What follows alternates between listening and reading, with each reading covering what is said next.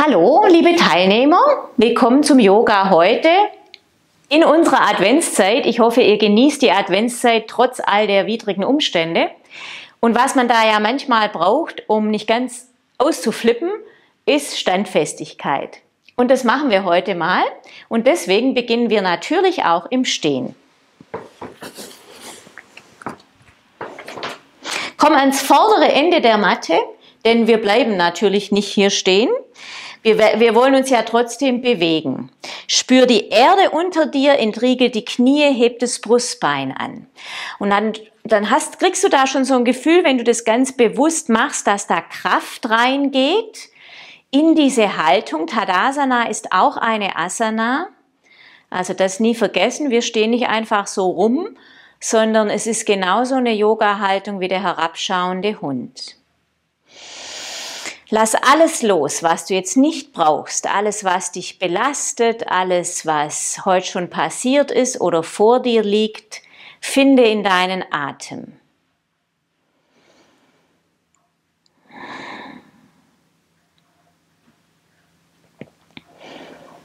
Und dann öffne die Augen einatmend, fächer die Arme auf Ausatmend, beug die Knie, fließ in die Vorbeuge für einen Moment, lass hier Nacken gehen, lass hier locker. Einatmen, steig mit links weit zurück, lass die Hüfte sinken und heb gleichzeitig das Brustbein an. Mit der Ausatmung steig dann mit rechts zurück in den herabschauenden Hund. Komm einatmend vor in die Brettposition, also auch das wirklich eine Kraftposition. Ausatmend den Katzenbuckel, die Füße klappen um. Einatmend Kuhrücken, schau Richtung Decke, stell die Zehen wieder auf. Ausatmen, herabschauender Hund. Und dann bleib hier so für zwei, drei Atemzüge.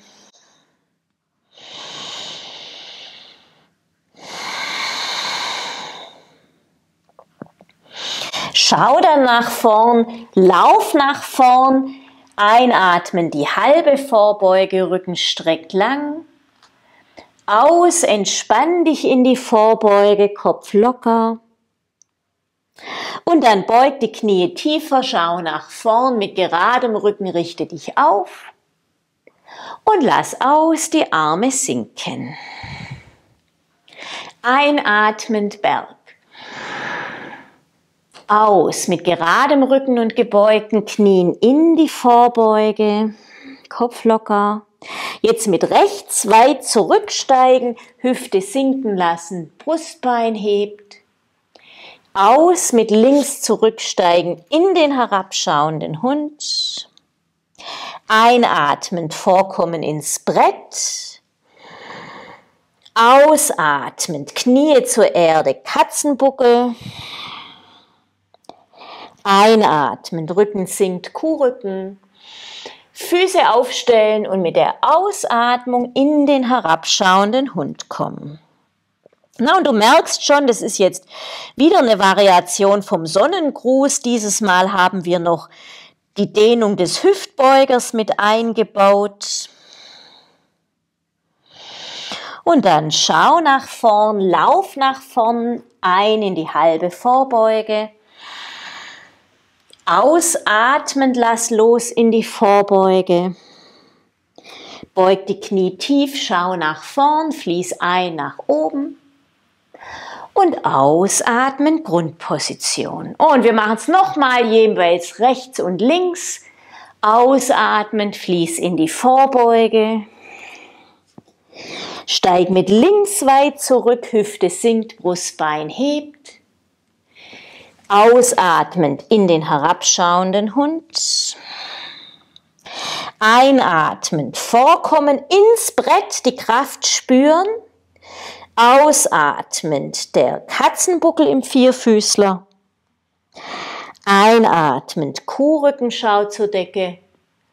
Und ausatmen herabschauender Hund. Anstrengung loslassen.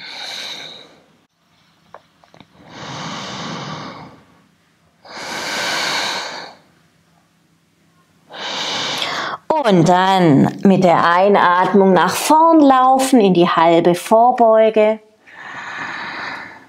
Ausatmend Vorbeuge. Einatmend aufsteigen nach oben. Und aus Grundposition.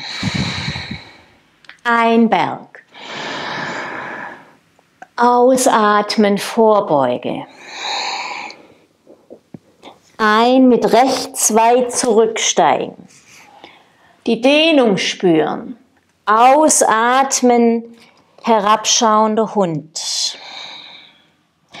Einatmend ins Brett dich rollen. Ausatmend Katzenbuckel.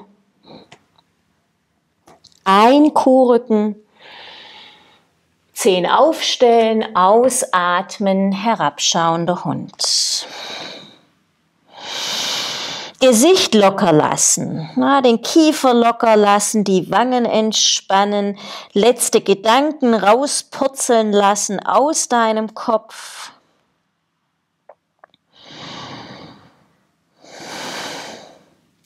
Einatmen nach vorn laufen. Aus die Vorbeuge. Einatmen nach oben aufsteigen und aus die Arme sinken lassen. Und dann spür nach. Na, spür mal, ob es dir schon ein bisschen warm geworden ist, ob der Körper mobilisiert ist.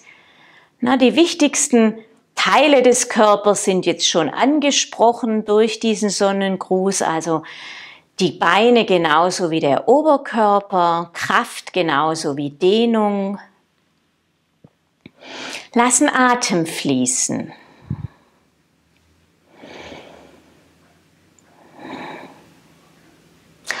Und dann öffne die Augen, Standfestigkeit. Da geht es natürlich um Balance. Und auch da habe ich jetzt erstmal einen Flow vorbereitet für diese Balance. Und zwar spür, dass du gut geerdet bist und dass die Füße hüftbreit auseinander sind und verlager dann das Gewicht mal aufs rechte Bein, während du einatmest und das linke Knie sowie die Arme anhebst.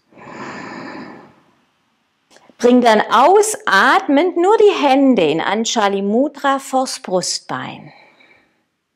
Atme hier nochmal ein und schieb jetzt die Ferse nach hinten durch, bis du in so eine schiefe Ebene kommst, lass dabei dann die Arme lang an den Körper sinken. Atme hier nochmal ein in der Zwischenatmung, ist eine Variation des Kriegers 3.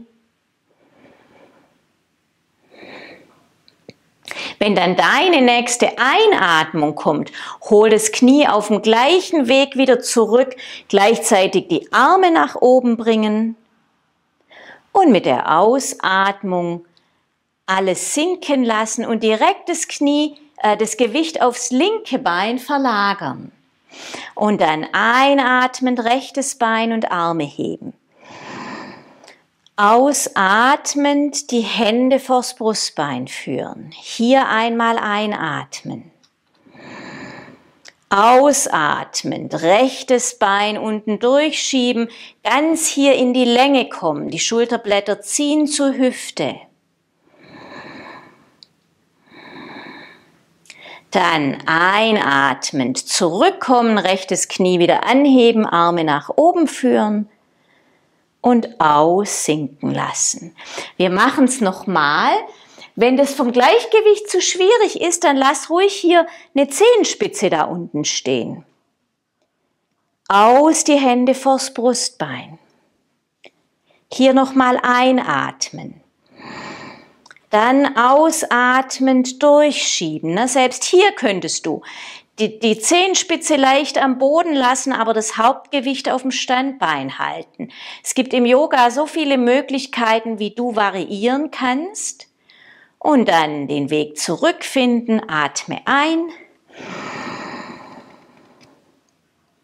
und aus, lass sinken. Letztes Mal nochmal die andere Seite, atme ein Ausatmend Hände vors Brustbein. Hier einmal einatmen. Ausatmend, Bein durchschieben, Arme in der Länge. Hab das Gefühl, du hast eine lange Linie vom Hinterkopf zur Ferse. Komm dann einatmend wieder zurück. Und lass aussinken. Stell dich wieder auf beide Füße, spür nach. Mach auch ruhig mal so eine Kniebeuge. Standfestigkeit.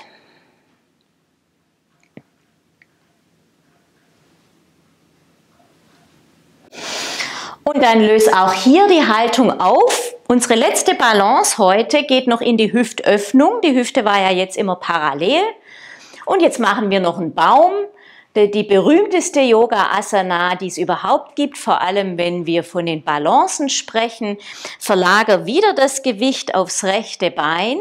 Spür, dass der Bauch hier wirklich fest ist und das Brustbein angehoben, Kinn zurückgeschoben. Und dann die Hände ruhig mal an den Hüftknochen nehmen und das linke Knie hier ausdrehen. Die Fußzehen sind immer noch am Boden und beide Hüftknochen zeigen noch nach vorn. Und dann von hier aus einfach den linken Fuß anheben und entweder an die Innenseite vom Unterschenkel bringen oder wenn du geübter bist, kannst du natürlich das Bein hier nach oben ziehen und hier richtig mit dem rechten Oberschenkel dagegen drücken und dann die Hände in Anjali Mudra bringen. Es ist aber total okay, wenn du hier unten bleibst mit dem Fuß. Achte darauf, dass die Hüfte nicht ausweicht, sondern dass du hier ganz gerade bleibst. Über diesem ähm, rechten Fußknöchel noch für drei, zwei, Und dann die Haltung auflösen, mal hier eine Kniebeuge machen, ja, spüren, da jetzt ist die Hüfte wieder parallel. Und die andere Seite, Gewicht auf links verlagern, Brustbein hebt, das rechte Knie ausdrehen, Stabilität in diesem Standbein vom Fußknöchel über die Hüfte bis zur Schulter und dann wieder überlegen, willst du hierher und das Bein nur nach oben nehmen, wenn du das nicht auf Kosten der Balance machen musst. Also hier geht es wirklich darum, die Balance auch zu halten. Wenn du willst, kannst du die Arme auch öffnen. Dann hast du hier gleichzeitig noch einen Herzöffner. Finde den Fokuspunkt mit den Augen, dass du die Balance hier gut halten kannst. Atme.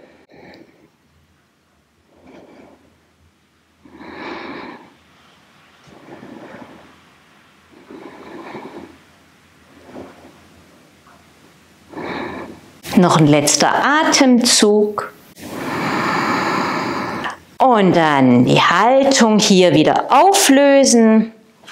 Zum Sitzen kommen und mal für einen Moment hier in die Rückenlage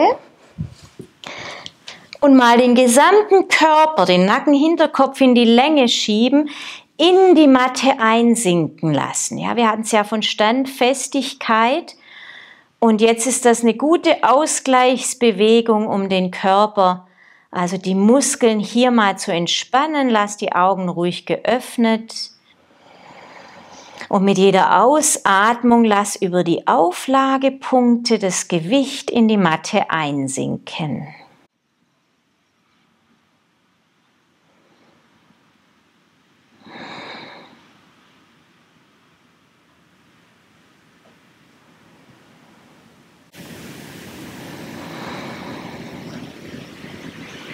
Noch für den letzten Atemzug.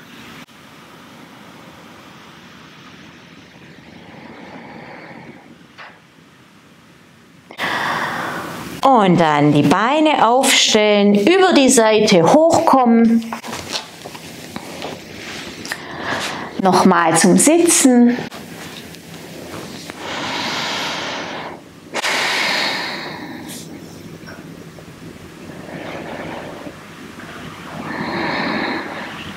dich spüren.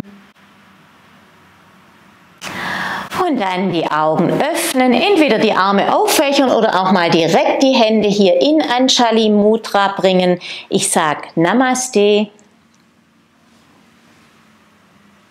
Danke euch für die gemeinsame Stunde.